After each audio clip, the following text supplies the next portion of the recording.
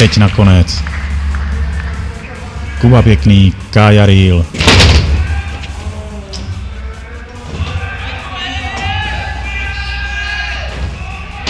A je to tam.